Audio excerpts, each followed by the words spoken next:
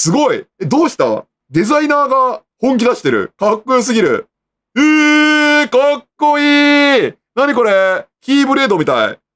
これやっば。これ最強だな。えー、常にラバーバンド現象になる可能性大幅に低減。お、これいいっすね。いやー楽しみだ。これマジで早く来ねえかな。どうも、シェンシェンです。今回はね、パッチノートが公開されたので、それをね、見ていきたいと思います。では、やっていきましょう。新しいのは、スペースハントイベントってやつですね。銀河をノックアウトって書いてあります。でね、ちょっとね、これが楽しみ。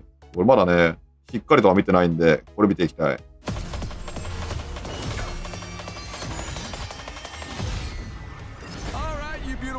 もうかっこいい。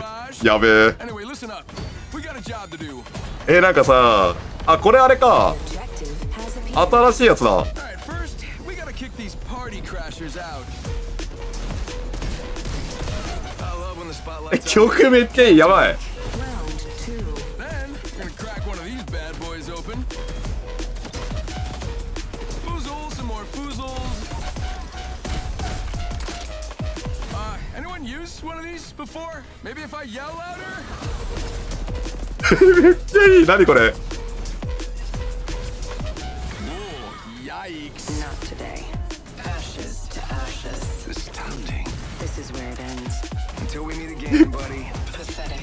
やば。えかっこよすぎる。なんだこれ。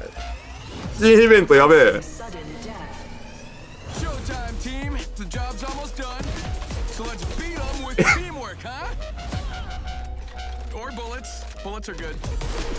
いやーちょっと待って。超かっこいいんだけど。取り方めっちゃよくなってない？えめっちゃかっこいい。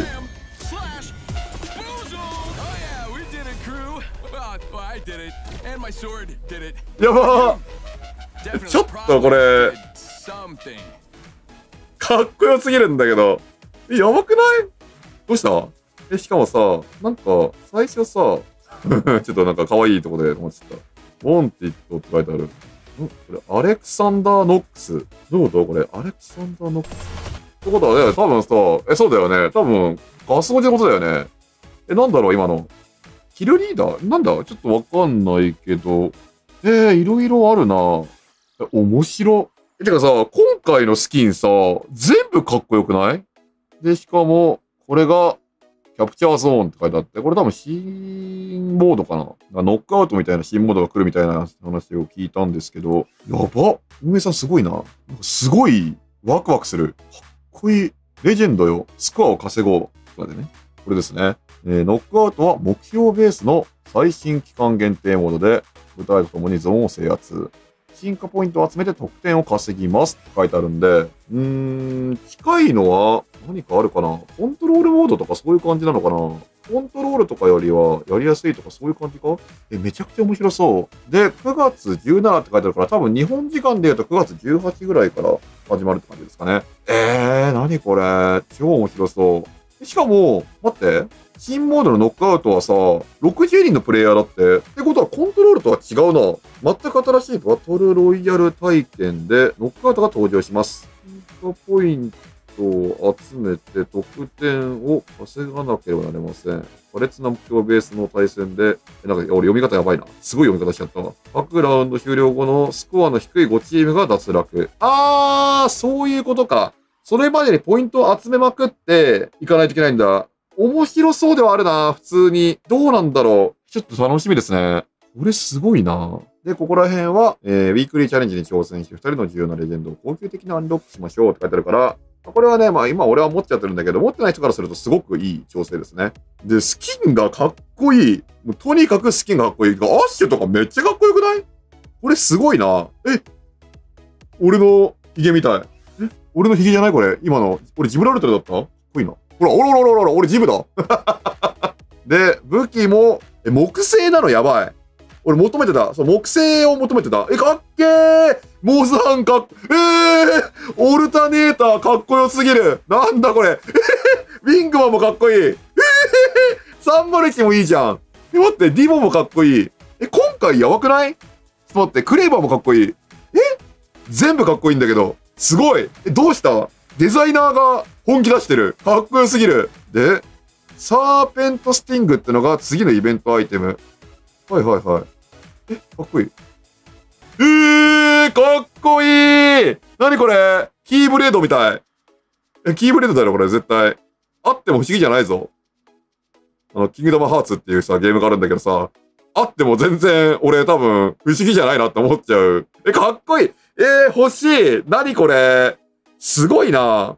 マッチ中に敵を倒すと、サーペントスティングに赤いホログラムの三角形で塗りつぶされ、5キルで最大となります。えーと、マッチごとにリセットされ、キルリーダーの称号に到達したプレイヤーは、その称号を保持している限り、上部にユニークな王冠のホログラムが表示。ちょっとわかんないけど、どこだろう。上部にここ？ここってこと？これかな？わからん。でも、わからんけどいいや、もう。欲しいすげえかっこいいなで、これがイベントのやつか。買えるんだよね。え、もうキーブレードじゃん。へえ全部かっこいいんだけど、すごいなえこの赤と黒っていいよなこれもかっこいいけど。てか、ジブ、お前は、俺だ。で、パッチノート、バランスアップデートが入ってます。まず、ゴールド武器が、モザンビークアキンボ。あ、これ変わってないね。おお !G7 スカート出てますね。やはり、運営さん、G7 押してますね。ネメシスとかが終わったかな？てか、終わったとかなくなってるかな？で、ゲームプレイのアップデートで、アイテムボックスのリセット、アイテムボックスのリセットが発動した際のアナウンサーのセリフを追加。あー、まあ確かに分かりづらかったよな。なんか左にさ、あの、第3ラウンドで、なんだっけ、アイテムがリセットされますって表示されるだけだった気がするんで、それが追加って感じかな？で、リセット後、一部の貴重アイテム。まあそうね。これはちょっとすごかったもんね。なんか、ゴールドサプライボックスがブワーン !12 個ぐらいブワーってなって、開くともう金ヘルとか金ノックとかもう、そこだけで15個ぐらい出てくるみたいな感じだったんで、それがちょっと下がってる感じですね。で、リセット直前にアイテムボックスが開けられると、そのアイテムボックスからアイテムが地面に投げ出され、プレイヤーは、おおもろいこれ前は取れなかったんですよね、アイテムが。回収できなかったんですよ。開けたよし回収しようシューって閉じちゃって回収できなかったってことがあったんですけど、それがなくなったって感じかな。いいじゃん。で、レジェンダリーアイテムボックスを開けた時に、スマートアイテムで出現するゴールドアイテムの数が少なくなります。あ、ちょっとこれはね、多すぎたんでね。さすがに。あの、キンヒル12個とかはちょっとやりすぎだったかな。でも、俺は楽しかった。ワクワクしたね、これも。開けた時に、うおーって、めっちゃ出てる。あれを俺は純粋に楽しんでいたわ。で、まさすがに弱体化入ったよね、みたいな形になってますね。面白い。でミシックアイテムボックスから大きい回復アイテムがより安定。おー。確かになんかちび肉とかいっぱい出てたもんな。あんまりなんか美味しくなかったんだよな。そうバッテリーとか欲しい欲しいのにさ、セルとちび肉プールみたいな感じで出てくるみたいな感じだったので、それがなくなるって感じかな。で、レジェンダリーアイテムボックスのスポーンロジックをアップデートしましたと。ゴールドアイテムボックスの出現数が、あ、減ったんだ。で、プレイヤーブルエリア全体により、均一に分配。あちょっとなんかね、そう、一箇所にすげえ集中してることあったんで、それがなくなるって感じか。いいじゃん。ゲーム終盤まで生き残ったプレイヤーには、それ相応の報酬が与えられるべきです。アイテムボックスでより安定して貴重なアイテムが入手できるのは、素晴らしい報酬でしたが、報酬が少し良すぎたって書いてあるね。アイテムボックスのリセット後も継続してアイテムを回収する意味を維持するために、アイテムを終了させるような最高アイテムの出現率を下げました。素晴らしい。ああ、書いてあるしかも、アイテムボックスを開けて欲しいものが入っていたのに、リセットが起きてしまって、ボックスが目の前でバタンと決められるという体験を好む人などいません。わかる。これちょっとね、だるかったもんね。あ、バッテリーあるじゃん、回収しよう。ヒューえーみたいな感じだったんで、それがなくなったって感じかな。で、えっと、ルートティックが大幅改善だって、ルートティック弱かったからな。白と青のレアリティのアタッチメントと装備を出現可能アイテムから削減。あ、削除か。ゴールド武器の入手確率を上昇。いいじゃん。フェニックスキットとポップアップを出現可能アイテムから削除。ああ、なくなったんだ。ってことは、レアリティが上がったアタッチメントが出るってことかな？書いてある最近の高ティアアイテム獲得手段と同等にするように調整。つまり、そうだよね。確かにルートティック開けるぐらいだったらね、レジェンダリーボックス開けた方が強かったもんね。なるほど。面白い。次は武器とアイテム、ハボックライフルが弱体化入ってますね。ターボチャージャー削除されております。開発者が言ってるのは、弱体化をしたとしても強かったので、パワーを下げますと。これいいと思いますね。本当に。ハボックはね、やっぱりね、強い。結局、結局強い。腰打ち弱体が入っても ADS すれば当たるし、それをなくなったと。これでハボックは相当減るんじゃないかなって感じはしますね。今のハボックいるしね。いいじゃん。タモチャ出ないのいいわ。もともとね、このゴールドサプライボックスが、本当に、もう出まくってたんで、自分が持ってるアイテムで大体上位互換が出るみたいな形だったはずだから、それのせいでもうターボチャージは絶対出るみたいな感じだったから、それがなくなったのいいじゃん。てか、ターボチャージはそもそもなくなったのか。で、R99SMG が強化入ってます。いいですね。11メートルプラスの地点でのダメージ低下を11に増加って書いてあるんで、これは元に戻ったって感じかな。10だとさ、元より弱えじゃねえかよっていう。もうダメやんって感じだったんで、それがなくなったと。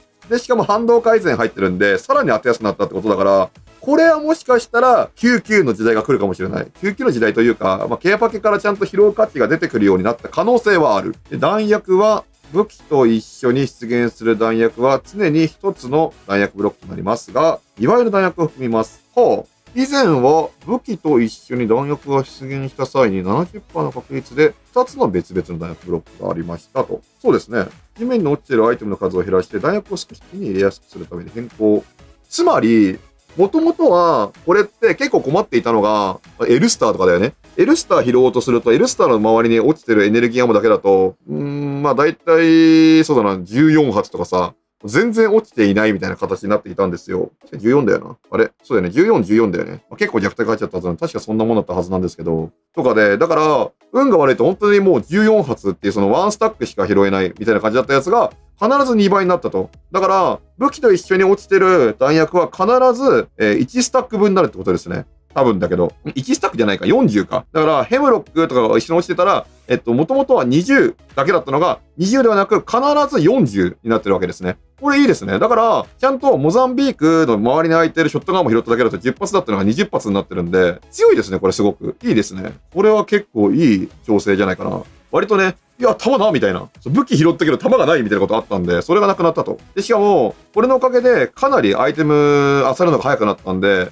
もし初動で敵と勝ち合っちゃったとしても、そういうのがなくなるっていうところはいいんじゃないかな。やっぱ漁ってる最中に倒されちゃうみたいなこともなくはないんでね。それがちょっと危なかったと思うんですけど、それもこれで減るからいいんじゃないかな。次は、ホップアップで、バーンシールドジェネレーターの出現率を引き下げ。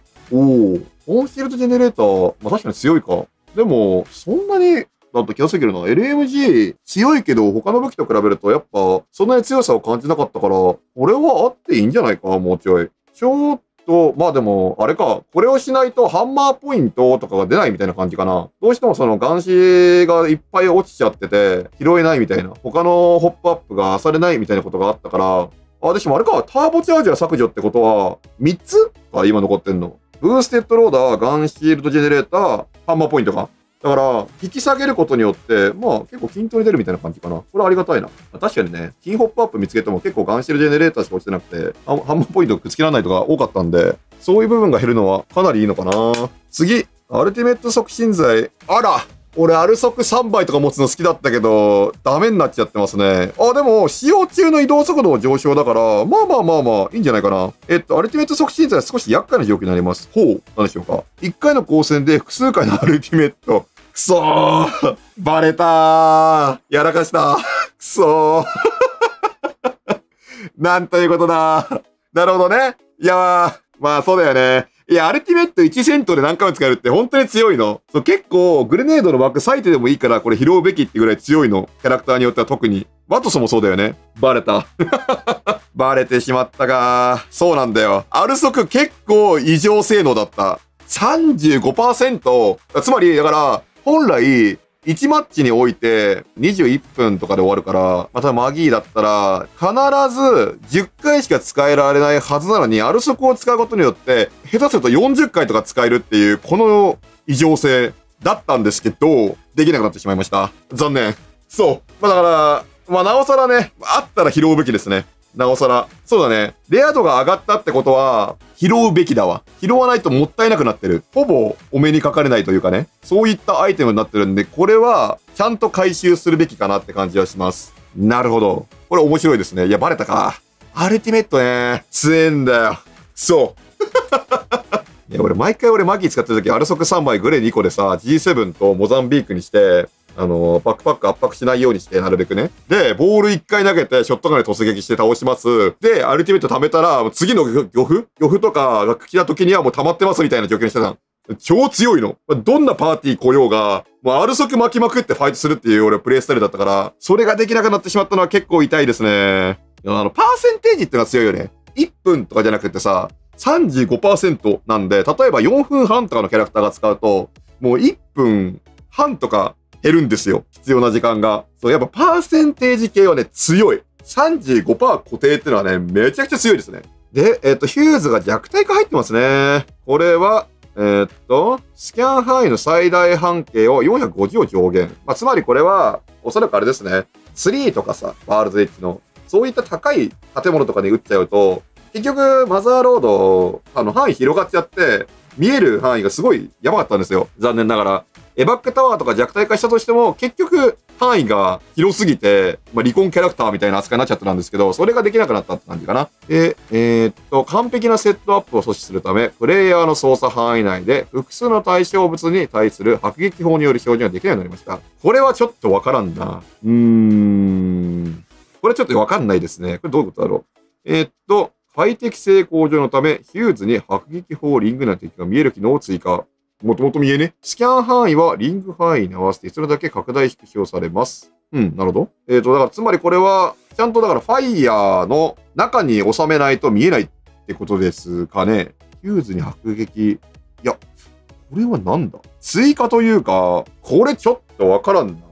まあだから、攻撃用として使えよっていう意図は分かった。ちょっとよくわかんないんだけど、まあ多分ここですね。この、主に範囲攻撃能力としてっていう、この部分が大事かな。前までは、ヒューズのアルティメットって攻撃用っていうよりは、どっちかというと、スキャン用だったんで、それやめろって言ってますね。でも、うーん、攻撃用だとあんま強くないんだよな。残念ながら。弱くはない。なんなら、すごく強いんですよ。強いんだけど、まあ、わざわざ使うかって感じはしますね。まあ、例えば、もう、ヒューズのウルトが、ボーン飛んでくじゃん。そしたら、リングじゃなくって、もう、その範囲内全部埋め尽くすみたいな、ブワーって、ブワーって全部燃えるみたいな感じになったら最強なんだよ。もう避けられませんみたいな。でも、やっぱリングっていうのが、そう、リングっていう特性が弱いかな。そう、攻撃用だとちょっと難しいね、使い方が。で、えっ、と、ランパート、ランパートが、えっ、と、シーラのターレットを再び使用できるまでの時間を1秒から0.1秒、え 0.15? これどういうことですかね？よっこらせってこれ持ち上げる時間のことかな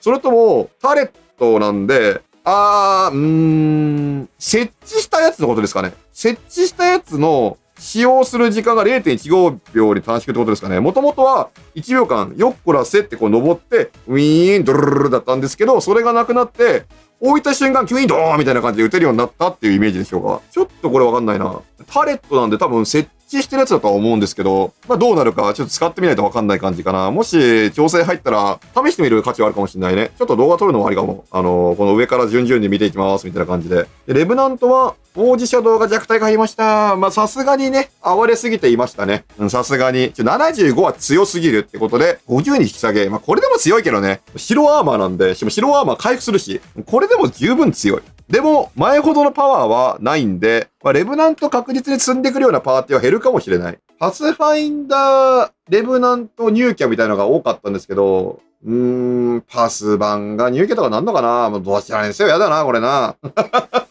どちらにせよなって感じはしますね。で、起動時間は2倍に増加してます。ということで、えー、まあ、もともとね、ギュイーン、ドーン、ボーンみたいな感じでウルトを貯めていたっていう状態だったんですけど、それが2倍になるんで、まあ、戦闘中にね、敵の目の前で急に発動してどうにかするっていうプレイスタイルはできないと。やるなら最初に起動しておけよって感じですね。いいじゃん。いや、あれ結構めんどくさかったからね、倒せるって思ったら目の前で急に赤くなってね、戦ってくるみたいな。あれ結構だるいんですよ。そういうのはなくなるってのはいいんじゃないかな。で、バルキリーがすごい。バルキリーの変更がなんかとんでもないことだったのもうやばくない？ここまでバルキリーよ。こっからさ、ここまでよ。やばすぎでしょ。見ていきましょう。えっ、ー、と、リコンレジェンドでまず変更入りました。いいですね。リコーン助かるな。だから、ブラハとか積まなくてもよかったってことか？わざわざブラハとか、クリプト。まあ、クリプトは強いからそもそも積むんかな。でも、スカーミッシャーじゃなくなったのはすごくいい。スカーミッシャーはちょっと弱いね。で、えー、っと、フルタンクアップグレードによる燃料補給を再度行えるまでの時間が8秒から4秒。これすごくない？パッシブの使い勝手かなり良くなるぞ。てか、8秒かかってたんだね。長くね ?8 秒？そりゃ使えねえわ。それが半分になるんで、相当パッシブでぴょんぴょんぴょんぴょん飛び回るっていう、なかなかの、うん、なんかハエのようなキャラクターになるんでしょうか。大変ですね、これ。ジェットパック中にスレッドビジョンが利用可能になり、足が地面やジップラインにつくまで有効となります。スレッドビジョンって何ですか？え、スレッドビジョンって何でしょうか？ょっと待ってくださいね。スレッドビジョンって何ですか？うーん、わからん。スレッドビジョンが全くわからん。ちょっと知ってる人いましたら、ぜひコメントお願いします。全くわからん。えーと、ジェットパックの UI に燃料補給までの時間がタイマーを追加。おー、これわかりやすいですね。だから、8、7、6、5ってなってるのが見えるようになったと見えなかったんで、これいつ止まんねんみたいな感じだったのがなくなったって感じですね。いいじゃないですか。でバルキリーのリリース時に似たより俊敏なジェットパックのハンドリング。それはちょっとやばいのではないでしょうか。相当強いぞ。バルキリーのリリース時に似たってこれ相当強いぞ。これね、知らない人に言っとくと、バルキリーって空中レレでできたんですよ。空中レレレ。本当に被弾減ったんよ。もう空飛んでビョーンビョーンビョーンビョーンって横にこうジェットパック起動してるだけで相手の攻撃を避けられるみたいな。それぐらい速かったの。それか？そしたらさ、対面相当強いぞ。バルキリー積むと、対面の火力が落ちちゃうから良くなかったんですよ、バルキリー積んじゃ。でも、バルキリーこれ積んでいいな。ファイト力が上がってる純粋に。これありだぞ。ショットガンバルキリーとかなかなかいいんじゃないか一発撃って、そう、あのそうそう、それだ。ピーキーとかマスティフとめっちゃ相性いいんだよ。バーンって撃った瞬間にビューンって飛んで、弱点を減らすんだよね。その隙をなくすの。一発撃って飛んで、あの、敵が撃てないようなとこまで飛んで、で、また、一発撃って飛んでっていうのを繰り返すってのができたんですよ。前のバルキリーってめっちゃ速かったから。それができるんだったって考えると相当強いんじゃないでしょうか。で、戦術アビリティの信頼性と出力が向上。えっ、と、移動速度低下のスタン時間を50%増加。長すぎ。もうアビリティ食らったら動けないじゃん。うん、最強。ミサイルの爆発範囲を20%拡大。んー、大丈夫？これ。アビリティやばくない？大丈夫？これ。最小攻撃範囲を25%減少。あはい。えっ、ー、と、どこだ？ろう近くにいる敵に攻撃可能これ大丈夫でしょうか？なんかすごい攻撃型になってるんですけど、これ大丈夫でしょうか？相当強いんじゃないでしょうか？これ大丈夫ですかね？えー、っと、ミサイルの最大移動時間を4.5秒から4秒に変更。うーみたいな感じかな。えー全ミサイル発射時の発射速度18から25に増加。ペペペペペペっていう、あの、なんか、出まくってるあれが速くなるってこと？打ち切りが速くなったってことですかねこれ相当強いんじゃないでしょうかこの0.5秒の差って結構でかいぞ、しかも。だから、相手に着弾するまでの時間が短くなってるってことか。えー、これ強いなえ、普通に強くないか？なんかちょっとバルキリー気になるな使ってみようかな。これ気になりますね。で、アップグレードは、エアリアルエキスパートってのが削除されてます。あー、だからあれか。この、水平ジェットパックとかなんかあれか。入ったのか、土台に。多分。多分だけど、ちょっとわかんないけど、多分そういうこと？かなえー、で、その代わりにフルカバーってのが追加。確かこっちにあれだよね。ジェットパックの燃料増やすやつあったよね、確か。で、こっちはなんだっけ？ウルトラ距離伸ばすやつか。スカイダイブの距離伸ばすやつが入ったんだっけ？あ、どっちだっけ？あ、覚えてねえな。で、えっ、と、フルカバーつけると、アビリティが強くなるんか？いや、これ迷うななんか、攻撃型バルキリー面白そうだけどなアビリティが強くなるのちょっと面白いなうーん、迷うな。アイズ・イン・ザ・スカイ。スカイダイブ HUD スキャンの視認チェックを無視し、へー、最強すぎる。これやばいね。スカイダイブ中により遠くから見れるし、壁越しに敵の位置が明らかになるってこれやばくない？これやっば。これ最強だな。前はさ、あそこに敵がいるってのが分かんなかったんだけど、え、これ待って。俺一つ面白いこと考えちゃった。あの、割とやるのが、敵が逃げてる時とか、敵がハイドしてる時にウルトレ飛んで、その、このパッシブで敵の位置を確認するとかすんの。だけど、これ壁貫通して見えるようになるんで、もうこれ、相手が飛んだら終わりですね。相手が飛んだ瞬間バレるから、これ取られてると。これやばいな。えー、これ強いな。しかも、これのやばいとかもう一つあって、このスカイダイブ中にっていうのは、そのウルト使わなくてもいいんですよね。エバックタワーでもいいの。だから、エバックタワー3個とスカイダイブっていう、その4つ持ってることになるんですよ。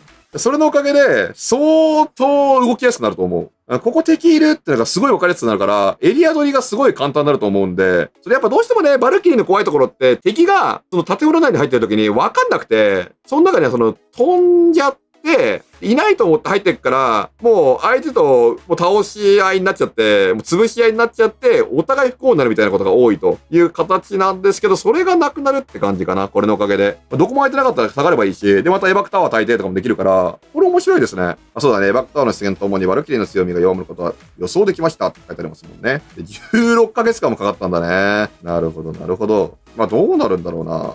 レベル3が何になるかだよね。フルカバーって書いてあるんだけど、フルカバーに、がレベル2になるじゃん。だから、フルカバー、スカイダイブの距離とかなんのかなあれ、ちょっと覚えてねえな。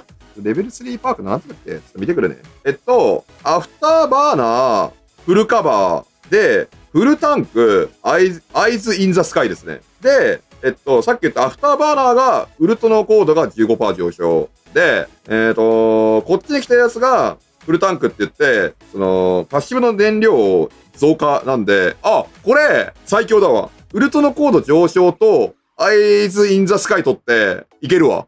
これとこれいけるわ。いやこれやばいね。フルカバーはいらん。そうなると。コードとアイズインザスカイで、でもそもそもアビリティは強化入ってるんで、フルカバーなくても強いって感じかな。あ、これ面白いな。全然十分だわ。うーん、なるほど。理解した。え、これ強いな。めちゃくちゃ強い。バルキリーありかもしんねえな。で、マップは、えっと、ディストリクトと、ああ、いいね。ディストリクト来るんだ。で、オリンパス、キングスキャニオンですね。おー、キンキャリ帰ってくるんだ。ワールズエッジ来ねえな。で、デュオモードも帰ってくると。いいじゃないですか、デュオモード。え、落ち着けリバイバルはどうした？リバイバルは？リバイバルが消えるとは書いていないぞ。いや、消えるな、これ。多分。トリオ、デュオ、ノックアウトだな。そうまあでも、このロックアウトが、あの、リバイバルより面白い可能性はあるので、まあまあまあまあまあ。で、ビッグステープも変わっていくって感じかな。で、ランクは何年にもわたって様々な形を経てきましたが、もちろんどのプレイヤーにもお気に入りの形があります。まあそうですね。まあ、万に向けは難しいしな。アップヒーバルの最後にランクケーキを焼くのをやめて、ランブルパイを焼いてみました。はい。期間限定でもあり、パイを食べたプレイヤーもいましたが、結局、ケーキ屋さんに来るお客様、ケーキを求めているのです。ああ、これ分かりやすいですね。まあ、つまり、俺、普通のランクやりたいんだけど、ってことですね。パイがランブル。パイ食いたくねえんだよと。ランブルパイ食いたくねえんだよと。期間限定って言うから食ったけどさ、別に俺ケーキ食いに来てんのよって話ですね。まあだから、買えますよって言ってるんだな。悲しいけど。まあ残念ながら、ランブルランクは、まあもうちょいフィードバックを得てからやるしかないですね。ちょっと今の状態のランブルだと、まあ、残念ながらあんまり面白いとは言えませんね。残念ながら。俺もずっとやってたけど、ま途中、残り2日ぐらいになった時に、うーんってなってた。別にその、ポイントも稼げないし、ポイント稼いだところで残念ながらね、そこからプレデターに上がるってこともできなかったので、マスターもマスターの中の順位が決まってしまうから、ちょっと難しいかな。え、でもね、これすごくいいですよ。本当に。すごい良かった。どういうことかっていうと、挑戦しないとダメなんですよ。やっぱり、ずーっと同じことをやるっていうのはすごく簡単なんですけど、それだと何が起こるかって言ったら、それで終わってしまうんですよね。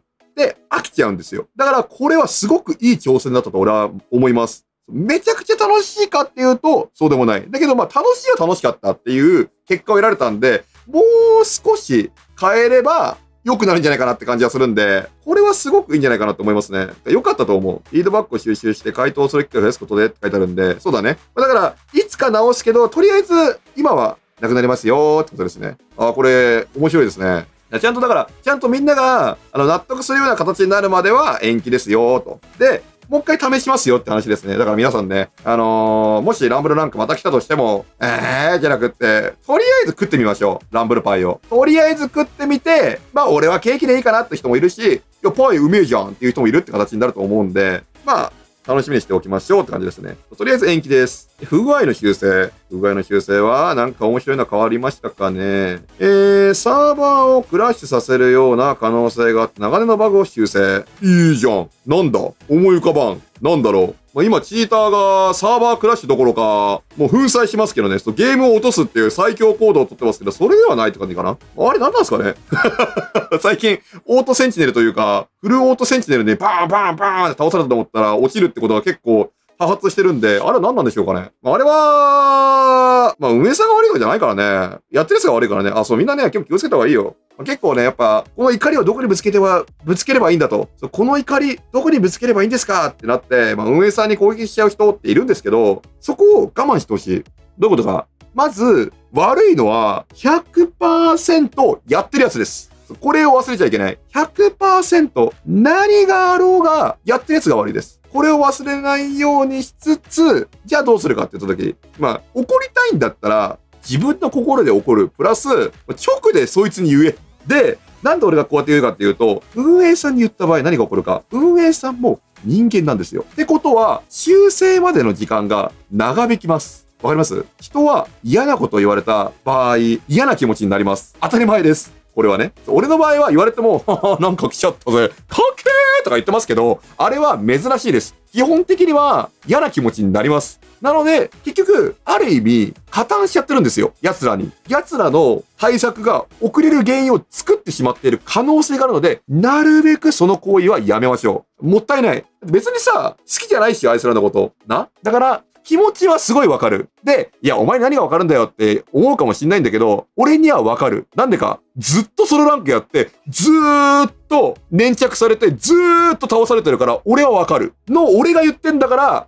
やめましょう。運営さんに言うのは。そう、俺の動画を見た人だけでもやめましょう。だって、何度？だって俺もう3年間か4年間、まあ、人によってはね、5年間、6年間やってると思いますけど、そうすると、その人の方がすごいとかなっちゃうと思うんですけど、俺はもうずーっとソロランクやってて、まあ、フルパでもやってますけどね、ソロランクやってて、ずーっと粘着されてるんで、分からないわけがないじゃないですか。そんな俺が言ってるんでね、ぜひぜひ、その運営さんが頑張ってもらうためにも、やめましょう。その行動はね。で、えっ、と、次ですね。まあ、ちょっと全然関係ない話からね、そういう話に繋がってしまったんですけど、えー開けたボックスを乗り換えるときに周りに通されてしまう。あったな。うわーとか言ってね、倒されちゃってるというか、ダウン、ダウンじゃないな、核入っちゃうみたいなことあったんで、それがなくなるっていうね。ああ、いいじゃないですか。レジェンダリーアイテムボックスが高に近すぎたりすることが修正。おー、あの金ボックスがね、ブワーって出た時って、あれってバグだったんですね。武器なしの状態で弾薬切れインジケーターが連発されないように。これね、結構だるいんですよ。それが修正はありがたいですね。